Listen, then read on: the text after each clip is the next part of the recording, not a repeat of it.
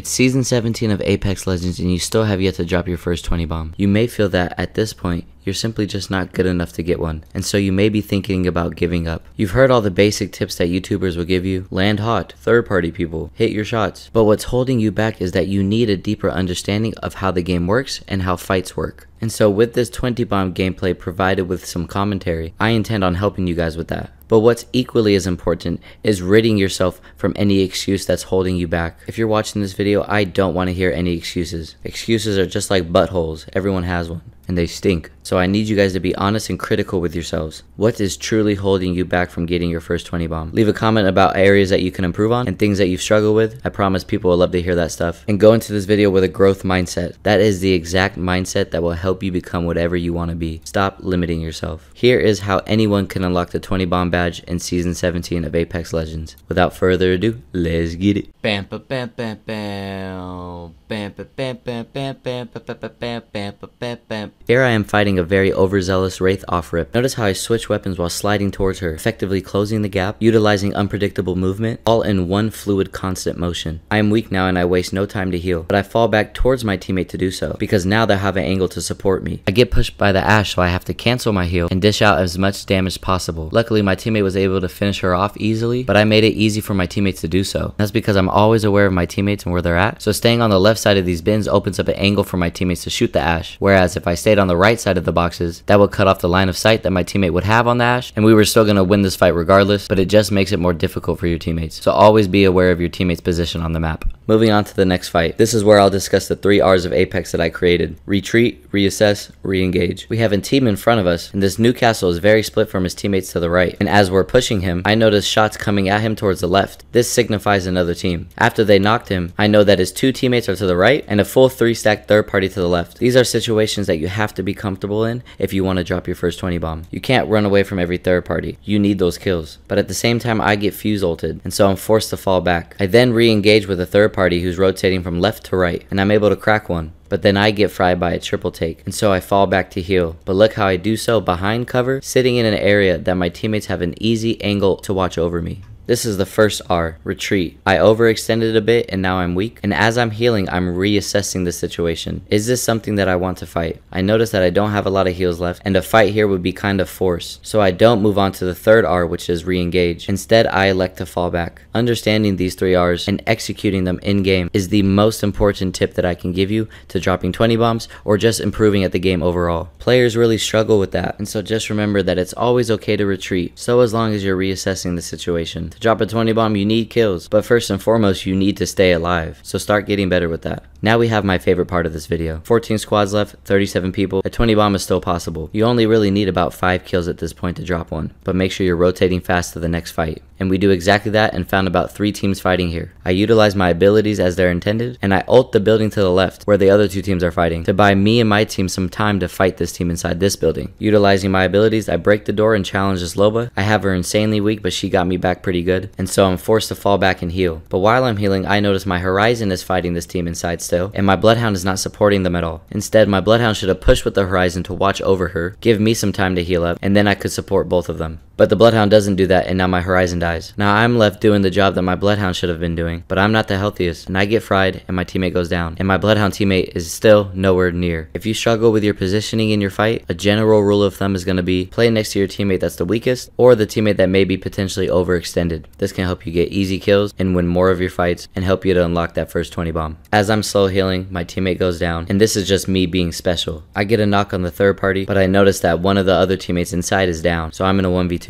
The lifeline challenges me and I clip her. The Mirage that was reviving cancels it and challenges me. I reload and with amazing tracking, I one clip him. That's your basic 1v2. If I didn't knock the lifeline right there, I'm dead. So be sure when you're trying to drop your first 20 bomb, they really capitalize on these third parties because that's when the enemy is most discombobulated and more susceptible to being killed. But I'm not done yet. There's still another team nearby. I armor swap quickly and run behind this door to pop a med kit. In order to drop your first 20 bomb, you're gonna have to win uncomfortable situations. 1v1s, 1v2s, 1v3s. This is how you win a 1v3. I have one Wraith pushing me and I don't see any of her teammates nearby. I fall back to reload my weapon, I make myself small, and I allow her to push me. Then at that moment, I hop out. She had a couple really good shots, but she's very weak, and I still don't see any of her teammates. So I must kill her right here, and I do. At that moment, I now know her teammates were coming behind me the whole time. I don't know where the hell they were at. I drop off my armor, pick up a new one to give me a quick armor swap later. I hear the Loba in the garage as the Bloodhound is flanking me, do major damage onto the Loba. Now she's out of the fight. Grab the armor swap, and I turn on the Bloodhound. He's very weak, so I must finish him. And I do. Now it's a 1v1. Try to armor swap, nothing in it. The Loba's right next to me. She pops a battery. I don't have a mag on my R3, but I was able to crack her. She got me very weak, but she makes a mistake, and I'm able to finish her off. Some things I want to note. I already talked about my teammates' poor positioning. I already talked about capitalizing off of third parties, killing them in their moment of weakness, but I wanted to touch on a few more things. When that Wraith pushed me, notice how I made it look like I was running away, but instead I held my ground, made myself small so I was hard to see, and I essentially jump scare her when she's not ready. That is such a good tactic to understand. Most people would have kept running, but what did I mention? If you want to drop these 20 bomb games, you need to win 1v3s and 1v2s, and it's all a matter of separating them into individual 1v1s. The Wraith was solo and overextended, I play it perfectly, and now she is weak. If I saw her teammates outside of that door, I would have been forced to run away, but I don't see them. There's no sign of them anywhere, so I assume that they weren't in the building in front of me, because if they were, they would have shown their face by now. So this was a safe assumption by me. I also need to use this time to thirst that Wraith, but I also have to assume that her teammates are now going to push me. Where exactly? Well, I'm listening for that, and I heard them come from behind me. Is no reason to flank when you're in a 2v1 situation. Now you're just giving the solo enemy individual 1v1s. You're making it easier for them. And I had a lot of armor swaps in that building. I was not losing that fight. And I know that armor swap play is something that a lot of you guys don't practice. Sure, you could leave them in the box. That could take a couple seconds longer. And if you have the chance, drop our armor swap onto the ground. Pick up a new armor. So when you need to armor swap later, you could do so in half a second. And that's what allowed me to win that 1v2 right here. Yes, I hit my shots. A lot of you guys struggle with that. But if you can improve on your IQ and your awareness, you'll give yourself such an advantage over the enemy that you'll create some sort of leniency when it comes to hitting your shots. Your positioning and strategy is the most important. I would prefer you to practice that over trying to perfect your shot. If you play the game long enough, your shot will come. My precise aim comes from playing the game. I don't do anything in the firing range. I don't warm up. I get repetitions in game and learn from that. Moving on. We pull up yet again on an opportunistic third party, which is what you should be looking for when dropping your first 20 bomb. That's when the kills are the easiest. Be sure to always take high ground first, get a bird's eye view over everything, and then push from there. And that's what I do. And as soon as I jump down, there's a Wraith in front of me, and I one clip her. She didn't even know I was there. She was the last on her team, so there's still one team left, and you have to assume that they're all three up if you're not paying attention. I pushed the ballistic because he's isolated, his Wraith teammate portaled out and left him alone. And then from there, it's a 3v2 situation. I'm shooting nukes, so I get very aggressive and I take the portal. I take the portal and I fall back to use his blue bin as cover. I re-challenge and I get the knock. It's just one guy left and he's running away, and I shoot nukes. Now I have 14 kills with 14 people left. I never gas myself up in these videos, but do you see how good I am at isolating every single fight? That's what you guys need to strive for. Poor positioning is the number one killer in this game. Not your aim, not your movement, poor positioning. And I'm trying to beat that into you guys because I know a lot of you guys struggle with that and you may not be aware of it. But after watching this video, you will be more aware. And it's that level of awareness that will help you drop your first 20 bomb. Be honest with yourself and what you're struggling with and stop making excuses. That is how you will drop your first 20 bomb. So now I have 14 kills and I actually tell both of my teammates, yo, can I get my first 20 bomb with Fuse? If you're nice about it, most randoms will help you and maybe they don't. But if you don't say anything, then they'll never know. Both my teammates said, bet, on to the next fight. I get this Bangalore really really weak right here, but I'm also cracked in the process and my horizon is really weak. So instead of pushing forward, I heal up and allow my Bloodhound to push through. He's the healthiest one. Then I'll play the support. The Octane jumps down and he isolates himself, and so I jump on that, and I'm able to get that kill. At the same time, my Bloodhound is communicating that the Bangalore is really weak and that she jumped down. So I'm listening to my teammates' comms even when I'm in the middle of a fight, and I go and get that Bangalore kill. Just like that, I now have 16. You need to have open ears and open eyes at all times. I need four more kills, and I recognize that this Valkyrie up top is alone. Don't know if she's solo or she has a team,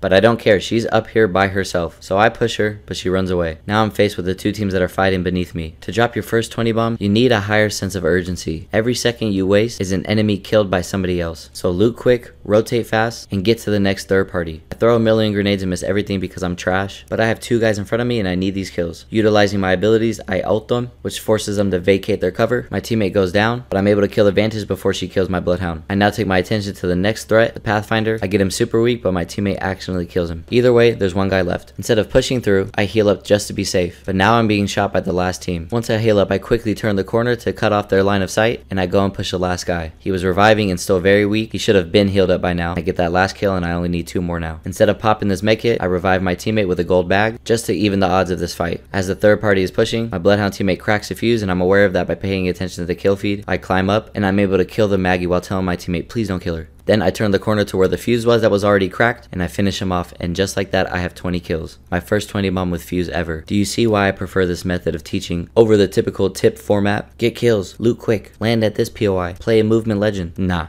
by giving you guys access into my mind, I can help give you guys a better understanding of the game. And by practicing all of the things that I've mentioned, if you can get good with that, then everything else follows suit and you can achieve whatever you want in this game. And that's how anyone can drop their first 20 bomb in season 17. I hope you guys enjoyed the video. If you did, please be sure to leave a like, comment, and subscribe. And let's get to 50,000. Thank you guys so much.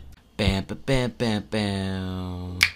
Bam, bam, bam, bam, bam, bam, bam, bam, bam, bam. Bam, bam, bam, bam, bam, bam, bam, bam, bam, bam, bam, bam. Bam, bam, bam, bam, bam, bam, bam, bam, bam,